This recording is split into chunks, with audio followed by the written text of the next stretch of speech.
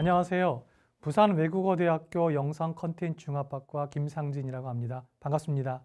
저는 그 학교에 오기 전에 한 26년 정도 아주 많은 클라이언트들의 다양한 프로젝트를 진행해 왔는데요. 많은 학생들이 저한테 이런 질문을 합니다. 교수님, 제가 광고 쪽 일을 하고 싶은데요. 어디서부터 어떻게 시작해야 될지 잘 모르겠어요.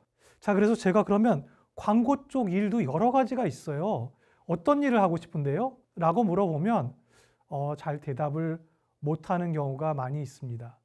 어, 제가 생각했을 때는 광고 산업에 대한, 광고 비즈니스에 대한 이해와 광고 조직, 그리고 직종, 직무에 관한 이해가 먼저 선행되어야 한다고 생각합니다.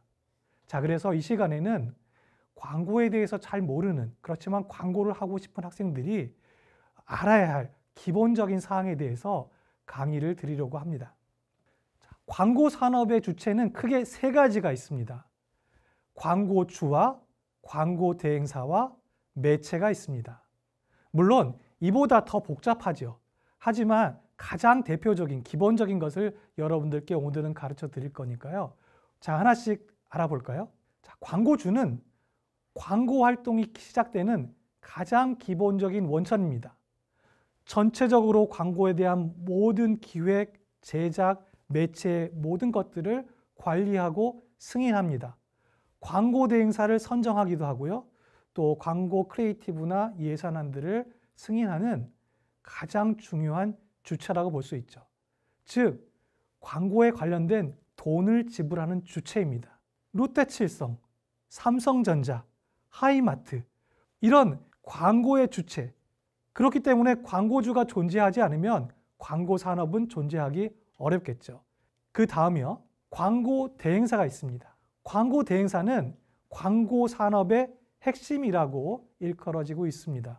아, 광고 대행사의 전문적인 지식과 노하우, 경험을 바탕으로 광고주의 의뢰를 받아서 마케팅 커뮤니케이션과 관련된 다양한 서비스를 광고주께 제공하는 그런 기업입니다.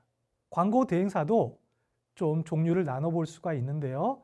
첫 번째로는 종합 광고 대행사입니다. 종합 광고 대행사는 소위 말하는 IMC, 통합 마케팅 커뮤니케이션을 지향하는 것이죠. 종합 광고 대행사도 굉장히 많은 층위의 대행사들이 있죠. 예를 들어서 여러분 잘 아시는 삼성의 제일기획, LG의 HS에드, 현대자동차의 이노션, 롯데의 대홍기획 같은 대기업 계열사의 광고 대행사가 있습니다. 이런 회사를 우리는 인하우스 에이전시라고 하고요. 또 이런 대기업 계열사가 아닌 독립된 회사이지만 종합적으로 광고 서비스를 제공하는 회사들이 있습니다. 이런 회사들을 독립 광고 대행사라고 부릅니다. 종합 광고 대행사가 아닌 전문 광고 대행사가 있습니다. 예를 들어서 제작만 집중적으로 하는 creative 부티크 같은 제작 전문 대행사가 있고요. 또 미디어 어, planning과 buying만을 전문으로 하는 미디어 전문 대행사도 존재합니다. 또한 아주 다양한 전문 분야의 대행사들이 존재합니다. 먼저 광고 대행사의 직종 중에서 AE, AE라고 하면 보통 광고 기획, 광고 영업 이렇게 알고 있는 학생들이 많이 있을 겁니다. 네, 맞습니다. 하지만 저는 광고주 담당이라고 어, 이야기하는 것이 더 맞다라고 생각이 됩니다. 광고주 담당의 의미는 광고주를 만나러 갈 때는 대행사를 대표로 해서 만나러 가고요. 또 광고주를 만나서 그 다음에 대행사로 돌아왔을 때는 광고주를 대표하는 광고주의 목소리나 의견을 대표하는 그런 사람이기 때문입니다. A가 되려면 분석력, 기획력, 또 성실성, 책임감, 친화력 이런 것들이 필요하겠죠. 가장 중요한 것은 많은 부서들 혹은 광고주와 커뮤니케이션을 원활하게 해야 하기 때문에 커뮤니케이션 능력도 상당히 중요합니다. 다음은 카피라이터와 아트 디렉터입니다. 카피라이터와 아트 디렉터를 우리는 creator라고 부릅니다. 네, 유튜브 크리에이터 말고요. 네, 광고 대행사 안에서의 creator들이 직종이 카피라이터 아니면 아트 디렉터입니다. 광고의 big 아이디어를 내는 사람들입니다. 즉, 소비자와 시장을 움직이는 insight를 찾아내고 아이디어를 생산해내는 사람들인데요. 또 이들이 어느 정도 어, 연차가 차고 능력을 발휘하면 팀장이 됩니다. 제작 팀장, 제작 팀장이 바로 여러분 많이 들어보셨을 CD라고 불리우는 직종입니다. creative director입니다. 자, 이들도 역시 어떤 어, 역량이 있어야 할까요? 당연히 광고나 소비자에 대한 이해가 충분히 있어야 하고요. 또 설득 커뮤니케이션에 능통해야 하고요. big 아이디어를 만들어낼 수 있는 발상력 이런 것들이 필요합니다. 특히나 이들도 광고주께 안들을 소개하고 팔기 때문에 아, 커뮤니케이션, 설득 커뮤니케이션의 능력이 아주 중요하다고 할 수 있습니다. 다음은 미디어 planner와 미디어 바이어입니다.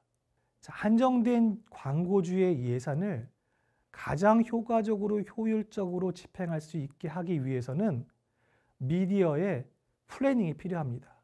이 미디어를 어떻게 mix하냐에 따라서 효과와 효율성은 달라지기 때문이죠. 그럼 미디어 바이어는 뭐 하는 사람들이냐? 미디어 바이어는 미디어 planner가 최적의 planning을 했을 때 그 planning대로 미디어를 구매하고 또 미디어를 집행하는 역할을 하게 됩니다. 그래서 미디어 바이어는 미디어 영업이라고도 합니다. 이 이외에도 뭐 이벤트 전문가라든지 프로모션 전문가라든지 스포츠 마케팅 전문가라든지 디지털이나 social 전문가라든지 다양한 직종이 존재합니다.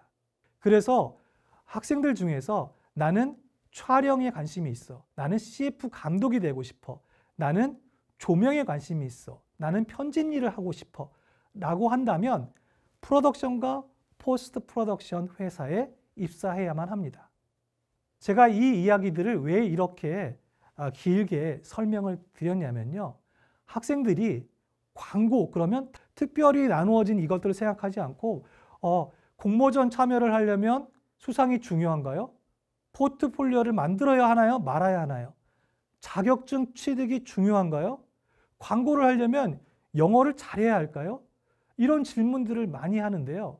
이 질문에 대한 답은 여러분들이 어떤 직군과 직종에 도전하느냐에 따라서 굉장히 답이 달라질 수 있다는 겁니다.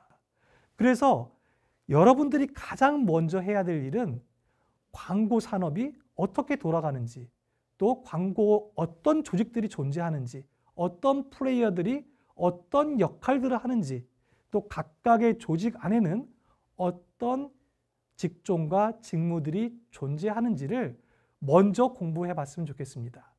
광고를 하고 싶지만 무엇을 해야 하는 그런 의구심이 있던 학생들이라면 이번 강의가 가장 기초적인 강의지만 이 강의를 듣고 아, 그래, 내가 광고 산업부터, 광고의 직종부터 찾아봐야 되겠어. 라고 공부를 시작하는 계기가 되었으면 좋겠습니다. 자, 그러면 다음 시간에는 또 다른 이야기로 여러분들을 찾아뵙도록 하겠습니다. 감사합니다.